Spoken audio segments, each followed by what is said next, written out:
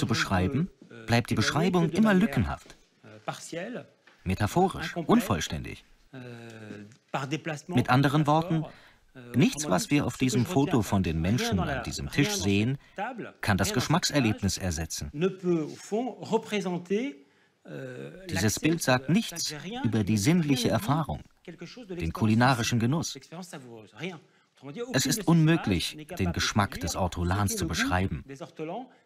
Man kann ihn nur am eigenen Leib erfahren.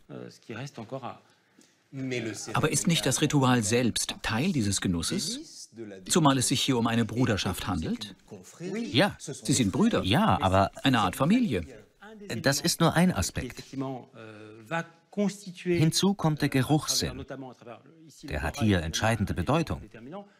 Aber auch die Konsistenz, die Temperatur und der Ort sind wichtige Faktoren. Das Interessante ist, dass bestimmte Aspekte, die einst eher nebensächlich waren, im Laufe der Geschichte immer mehr in den Vordergrund gerückt sind. Die UNESCO hat ja die französische Küche jüngst zum immateriellen Weltkulturerbe erklärt. Dabei geht es nicht in erster Linie um Aromen, Soßen oder die Garnitur, sondern es geht vielmehr um die französische Küche als Zusammenkunft von Menschen, die gewissermaßen die weltliche Variante des letzten Abendmahls zelebrieren. Das heißt, was wir als Miteinander feiern, ist in Wahrheit nur eine Ansammlung individuellen, unteilbaren Glücks. Aber vielleicht... Was Sie über das Essen sagen, gilt ja eigentlich auch für den Sex. Sie erklären, zu zweit Liebe zu machen. Wobei das schwieriger ist. Nein, weil beim Essen... Zur Liebe und zum Sex gehören immer zwei. Das hat auch Lacan gesagt. Ja, richtig. Vielleicht geht es genau darum.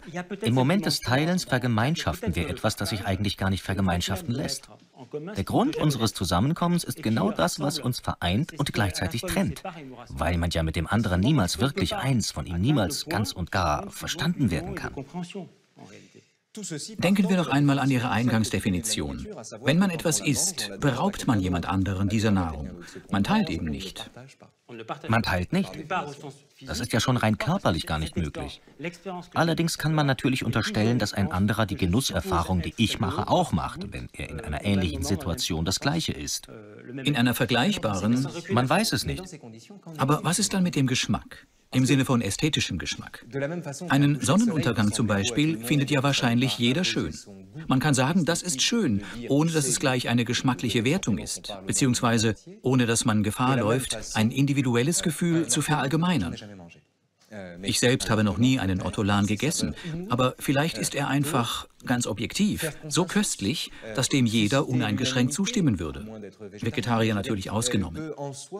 Was ich sagen will, gibt es so etwas wie einen universellen Geschmack, jenseits der unteilbaren subjektiven Erfahrung, die der Einzelne macht?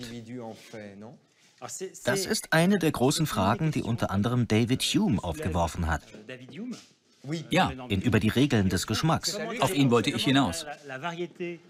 Hume hat sich gefragt, ob es hinter all den verschiedenen Geschmäckern so etwas wie einen geschmacklichen Konsens geben kann.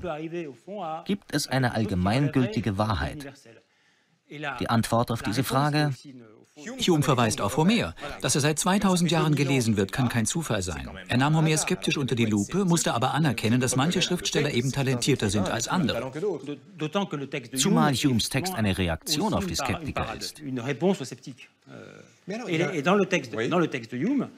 Und Hume bezieht sich in seiner Antwort auf auf Don Quixote. Genau. Zwei Weinverkoster trinken Wein aus demselben Fass, wobei der eine den Geschmack von Leder, der andere den von Eisen zu schmecken meint. Der Besitzer macht sich über sie lustig und sagt, dass in dem Fass weder Leder noch Eisen seien. Aber als es geleert wird, entdeckt man darin einen Schlüssel an einem Lederriemen. Hume will damit sagen, dass der Geschmack zunächst eine Feinheit der Einbildungskraft ist. Mit anderen Worten, der Geschmack ist sowohl ein Gefühl, das wir in uns selbst finden, als auch ein Urteil, das wir über die Dinge fällen. Und deshalb müssen wir ihn erst herausbilden. Wir müssen uns den Geschmack erarbeiten. Eine Feinheit, eine Sensibilität entwickeln, um ihm auf den Grund gehen zu können. Genau. Zwei Männer werden in ein Dorf bestellt, weil sie als große Weinkenner gelten. Als sie den Wein verkosten, nimmt der eine den Geschmack von Eisen, der andere den Geschmack von Leder wahr. Sie werden ausgelacht, aber am Ende findet man in dem Fass einen Schlüssel an einem Lederriemen. Das ist wirklich bemerkenswert, denn das bedeutet, nur wenn man sich selbst kennt, ist man fähig, den Dingen auf den Grund zu gehen. Schon Hume wusste, dass ein fein ausgebildeter Gaumen mehr zu schmecken vermag, als wenn er durch eine Erkältung beeinträchtigt ist. Damit bestätigt Hume, was dieses Foto zeigt. Wir sehen Duchemin in Brust oder Keule, verkörpert von Louis de Funès. Er spielt einen Restaurantkritiker, der seinen Geschmackssinn verliert. Er hat aber so gute Augen, dass er in der Lage ist, den Wein nach seinem Aussehen zu bestimmen. Und zwar ohne einen Schluck zu trinken. Ist das nicht Geschmack in höchster Vollendung?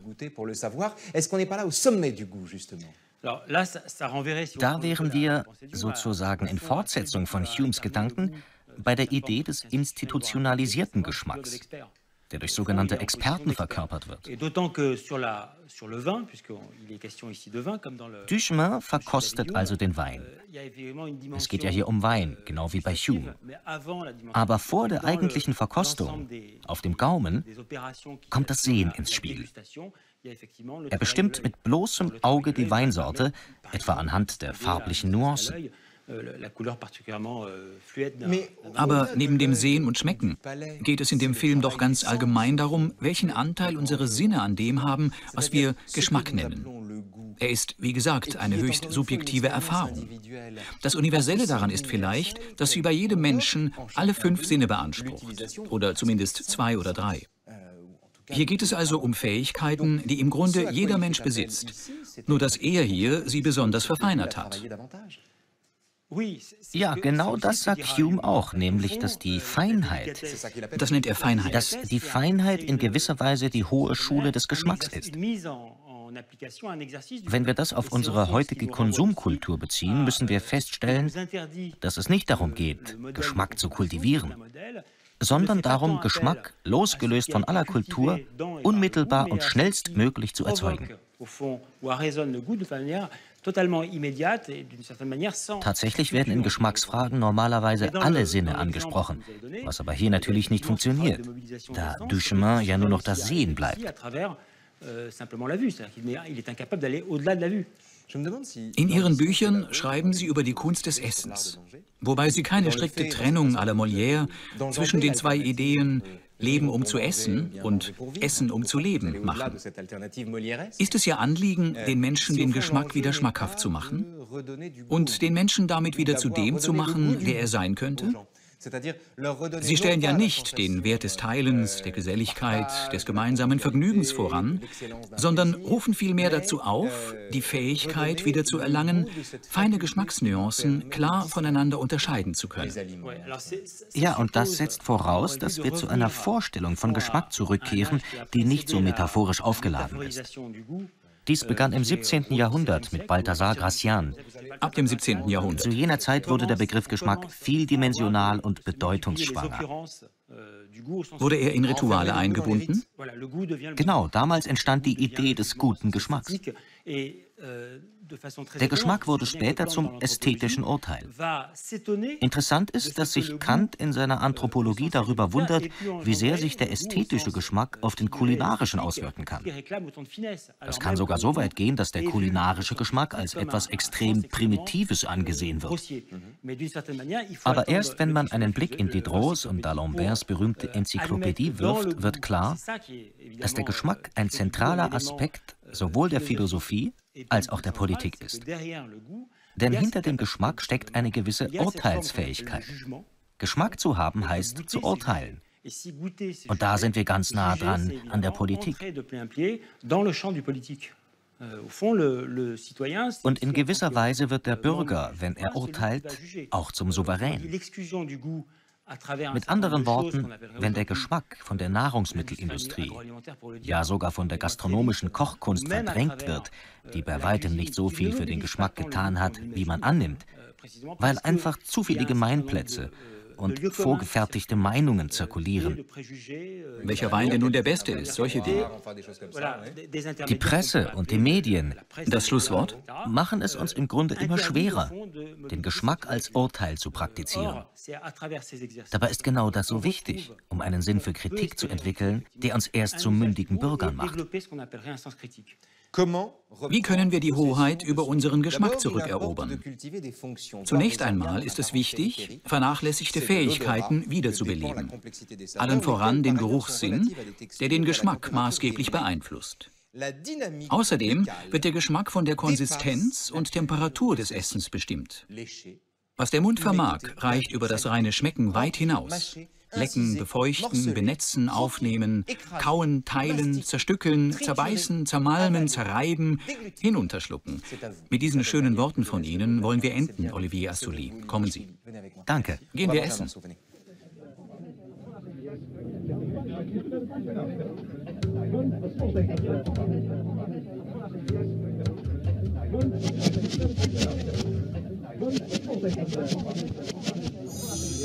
Thank